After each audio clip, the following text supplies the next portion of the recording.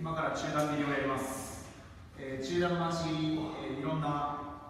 蹴り方がいろいろ人それぞれあると思うんですけど、えー、僕の場合は、え、蹴る瞬間に遠くを蹴ろうとして踏み込んで蹴ってしまったら相手にカウンターをもらってしまうんで、え、この顔相手と自分との距離を変えずにそのまま回転力だけで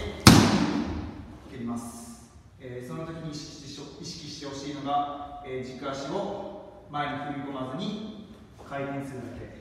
あとは上体も前に行かずにそのまま蹴る。で蹴った瞬間こう前に体重が移動するんじゃなくて体重を